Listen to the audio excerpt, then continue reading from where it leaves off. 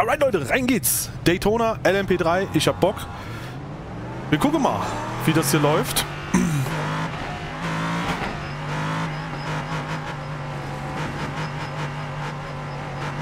Ich habe auf jeden Fall sehr viel Lust und Laune. Und meine Qualizeit war grob meinem Rating entsprechend. Da ich jetzt halt recht unregelmäßig in den letzten Monaten iRacing gespielt habe, aber doch das ein oder andere Mal, ist jetzt, sagen wir mal, mein Ziel, mein Rating auch eigentlich grob zu halten, ehe ich dann ein bisschen Konstanz reinbringe. Und dann kann man ja immer noch darüber reden, dass man das äh, ein wenig nach oben korrigiert. Mal schauen. Langfristig ist natürlich das Ziel, besser zu werden. Geht aber auch mit besseren Ergebnissen natürlich immer einher. Wäre jetzt doof zu sagen, ja, ich möchte mehr Rating, weil das eine bedingt das andere. Jetzt gucken wir mal.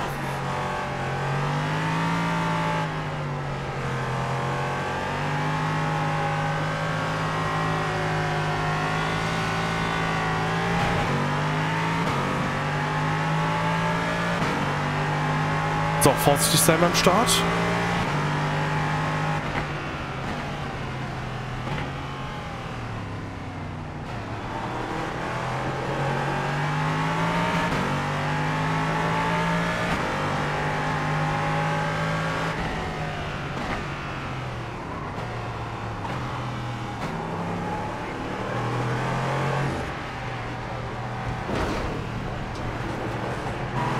Oh mein Gott! Und ich habe noch nicht mal den Dude erwischt. Oh, das will ich mir gleich im Replay eigentlich am besten mal anschauen. Halleluja, ich lebe. Oh, ich hätte fast den John Fillingham rausgeballert.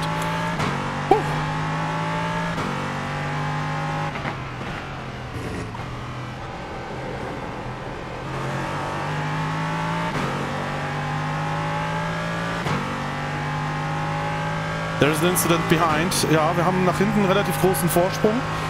Zwei Sekunden und das sind auch nicht die bestqualifizierten gewesen. Ich hoffe, dass wir dann dementsprechend auch tatsächlich äh, Abstand halten können. Und dann kann ich mir die beiden vor mir ein bisschen zurechtlegen und kann auch mal sagen, jo, wir gucken einfach mal. Gut, Lift and Coast bringt hier nichts. Im 24er wäre das natürlich wieder was anderes, aber ich glaube, wir sind hier die Leute von P5 bis P7 gerade. Wie gesagt, Lift and Coast bringt gar nichts. Ich pushe jetzt einfach komplett.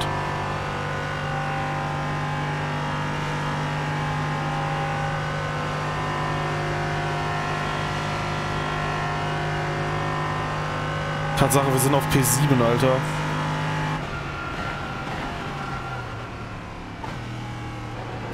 Geil. Aktuell 38 plus. Nice. Läuft. Ja, jetzt einfach Geduld haben. Weil Top 4 ist eh unerreichbar. Übrigens auch Thomas Ronha ist in den Top 4 mit inkludiert. Top 3 aktuell. Die Wahrscheinlichkeit, da irgendwas auszurichten, ist quasi null bei dem aktuell vielleicht schnellsten F1-Sportler.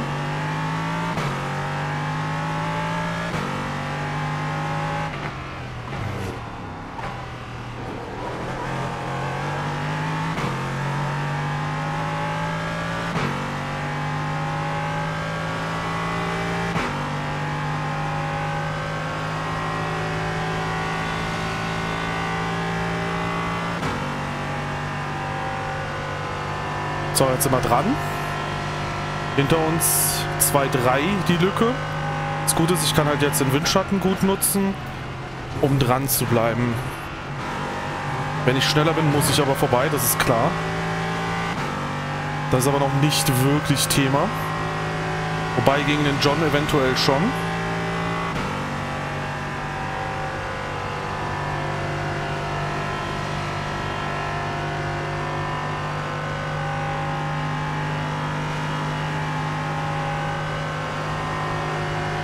Auf welcher Strecke ist denn das Raw zur Dauer?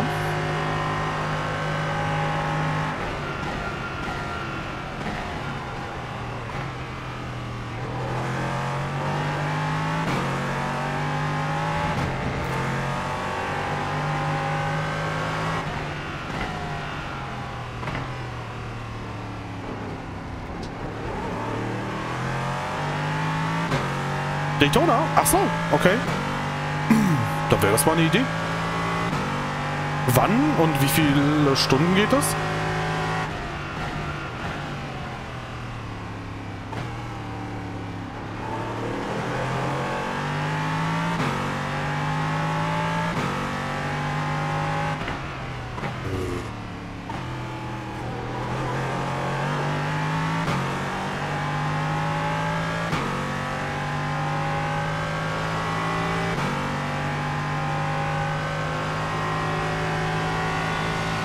Vier Stunden geht das und ist ein Solo-Endo. Nice.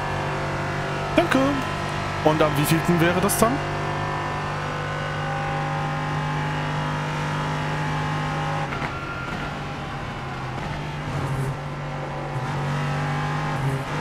Oh mein Gott.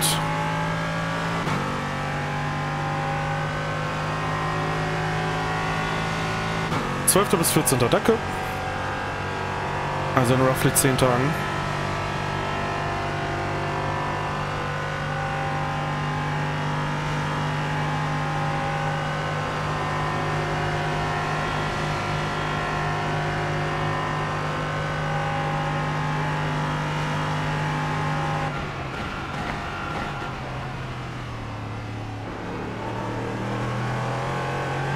Let's go.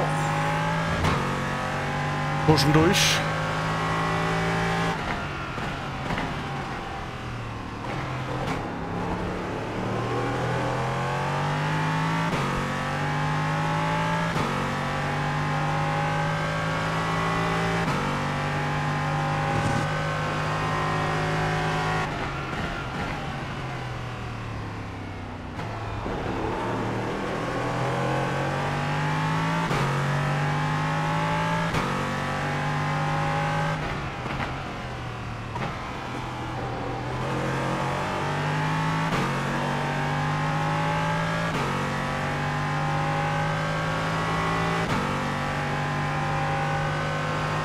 Der Matthias fährt leider gerade einen Ticken zu schnell aktuell noch. Oh, viel zu früh hochgeschaltet. Ah, ah, das war nicht gut.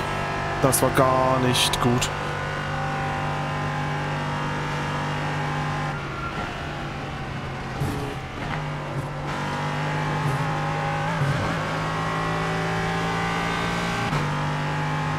Das war besser. Ah, ich habe trotzdem super viel Zeit verloren nach vorne. Die ersten vier immer noch quasi aufeinander hockend. Der Erik kommt näher. 43-0. Ist einer da vorne gefahren.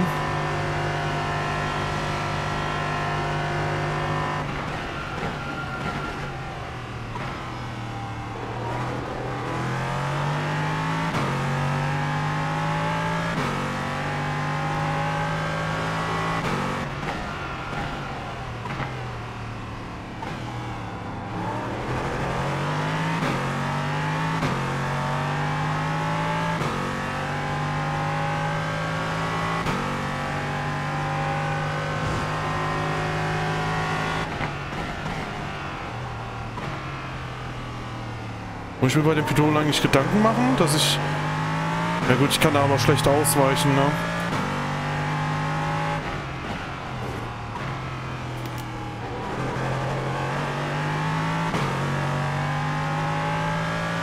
Oder Jimenez hat einen Fehler gemacht.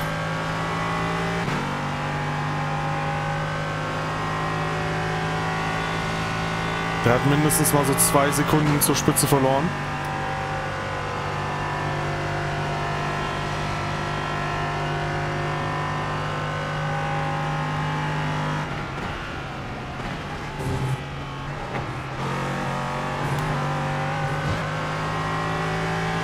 Nicht, noch bin ich nicht ganz firm mit dem Auto auf der Strecke. Gibt immer noch so ein paar Stellen, wo ich mich nicht traue, das Auto vollends auszufahren.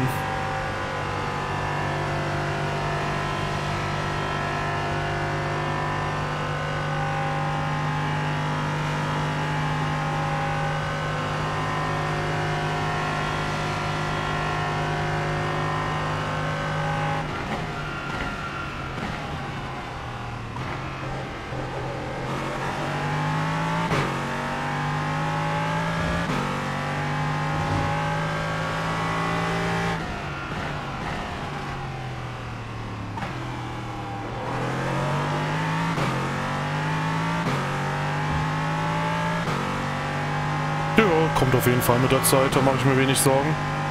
Aber muss bei mir nicht schreiben, ist kein, halt kein GT3, weil ich glaube im GT3 käme ich jetzt auch nicht so gut klar.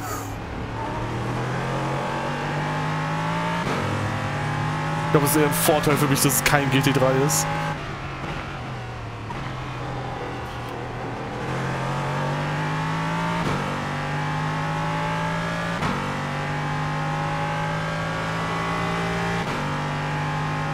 John fährt aber auch nicht schlau. Geht.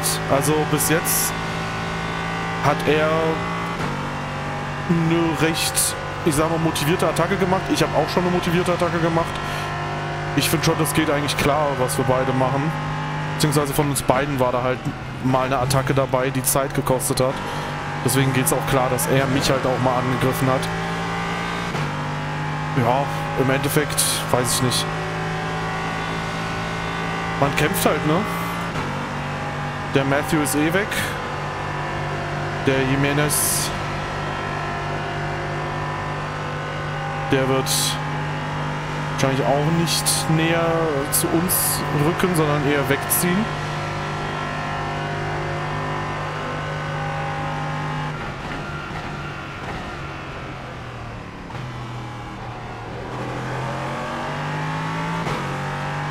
Also ich finde schon, dass es fein ist, dass er da angreift, verteidigt. Oder, oder, oder.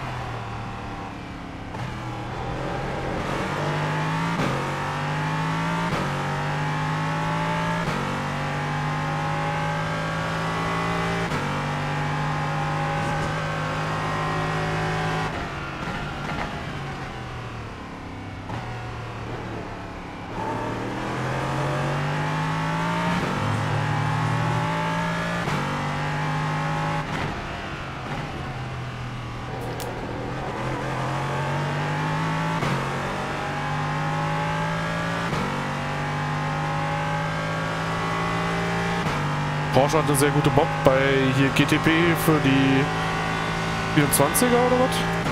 Für das 24er? Der Jimenez ist aber auch nicht schnell, seit er aus dem Windschatten rausgeflogen ist. Ne? Also irgendwie scheint da die Pace zu fehlen. Entweder der Windschatten von den Leuten da vorne hat wirklich so krass beflügelt oder aber das Vertrauen ins Auto ist weg. Stand jetzt ja fürs 24er. Copy that?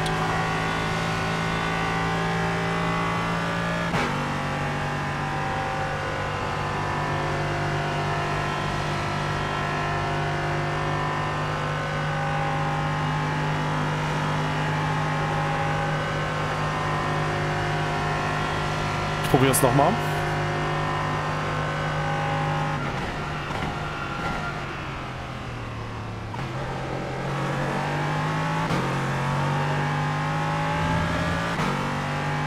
Muss halt mal eine gute Runde hier fahren, ne?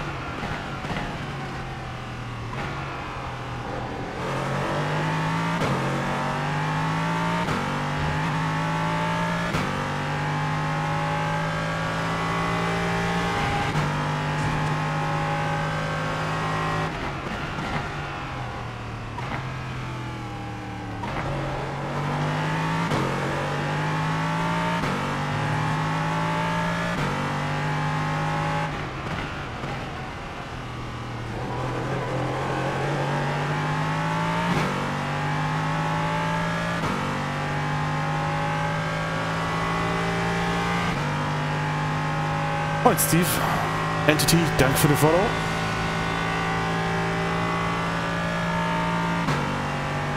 Ach, komm schon, Mann. Ich werde wahrscheinlich nicht weit genug wegziehen, dass er nicht angreifen kann.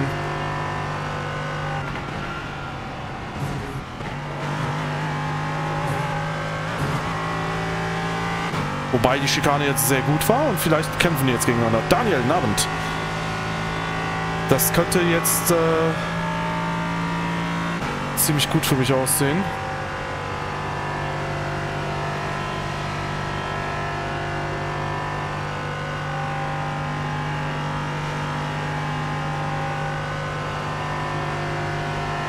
Vierundvierzig Null.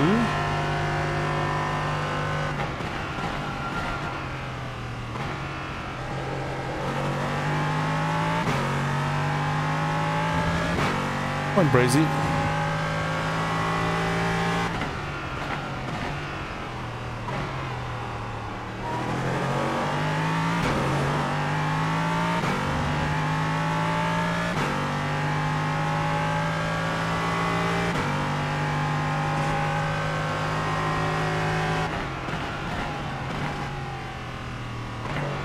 Oh nein, zu langsam.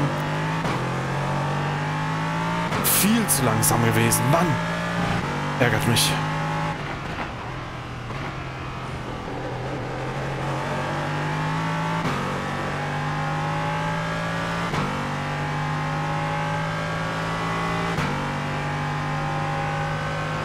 Crazy. Danke dir für den Sub, mein Lieber. Ehre. Puh.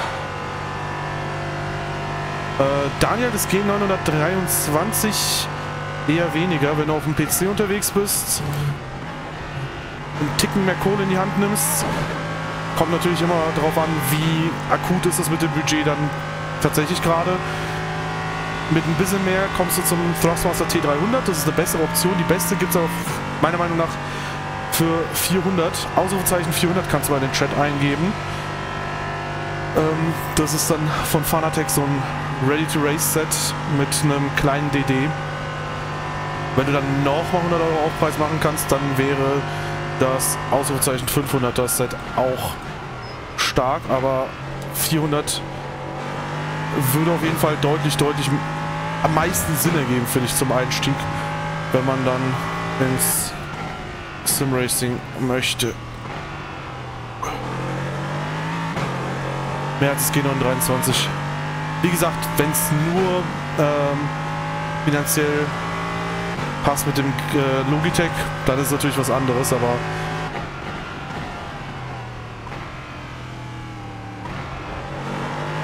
sonst ist es natürlich auch eine nette Option, aber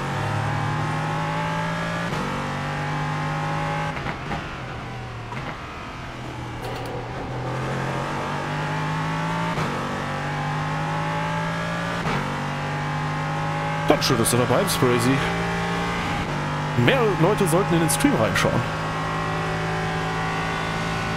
Oh, meine rechte Handfläche tut mittlerweile ein bisschen weh.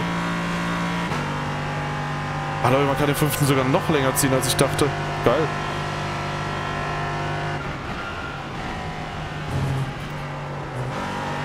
Hab ich ja total vergessen. Ich dachte 250, da ist auf jeden Fall schon Schluss.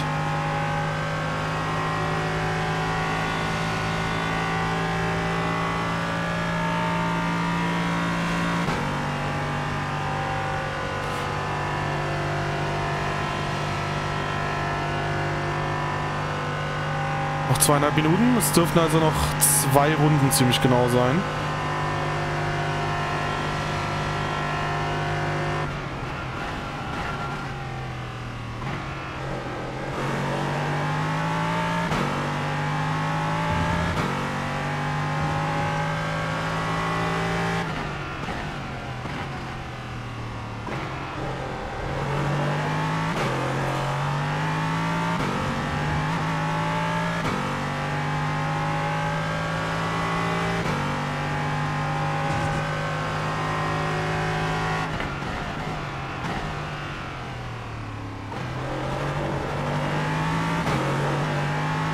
Alter, da kann ich ja sehr viel später doch bremsen. Krass.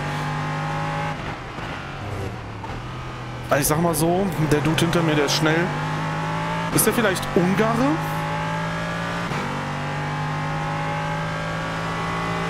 Weil Magia war doch irgendwas Ungarisches oder heißt es nicht sogar Ungarisch?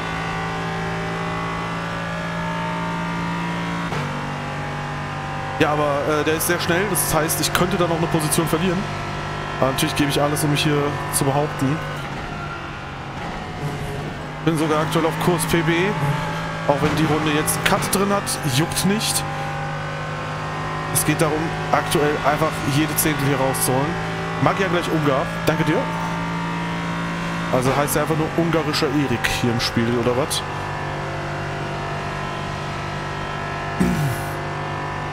direkt melden. Kein, nicht der echte Name, bam, gebannt und ich äh, krieg seine Position geerbt und ernte Rating. Kapi?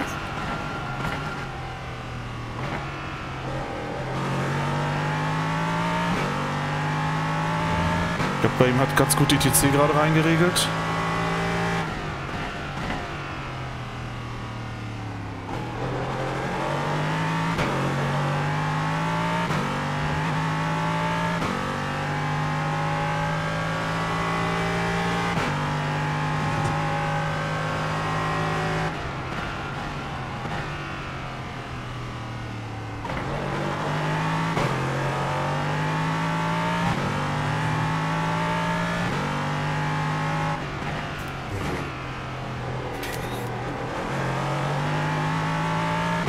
Let's go. Alles ziemlich gute Exits hier gewesen. Wichtig. Sehr wichtig, was hier gerade passiert hat. Passiert ist.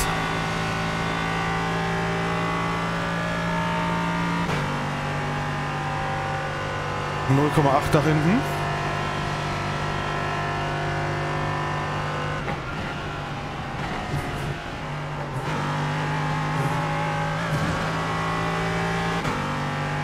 Null sechs, das sollte eigentlich sogar passen.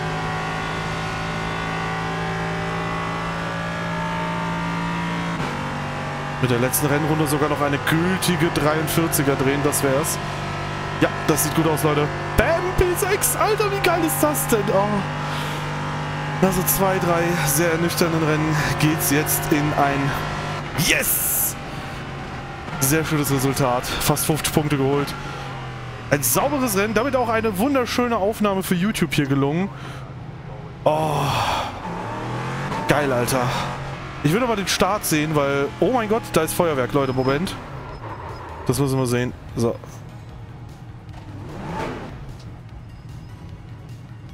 Das ist auch ein schöner Abschluss. Alter. Meine Handfläche ist übelst rot und oh mein Gott, brennt das. Bro, Handschuh, was ist bei dir los? Warum? Sollst mich doch vor gerade sowas bewahren. Wow. Eieiei. Ja, Leute, ähm... Gehen wir mal ganz kurz in die erste Runde. Das war komplett wild. Also, ganz kurz hier mal...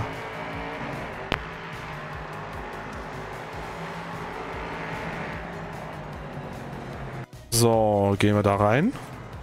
Also hier sehen wir natürlich schon, hey, ähm, da werden ein paar Leute Probleme bekommen. Ich ziehe natürlich sofort nach außen. Ähm, weil man kann nicht absehen, was da innen noch alles passiert. Und da war... Oh, das war sogar noch eine Berührung. Das war ein Ghost-Contact hier mit dem John. Wie hieß der denn? Ja, John Fillingham. War sogar noch ein Ghost-Contact, ist aber alles gut gegangen. Und dann hat es auch gepasst. So, für die Leute auf YouTube, ich hoffe, ihr hattet viel Spaß. Wenn dem so ist, Däumchen da. Bis zum nächsten Mal. Tschüss.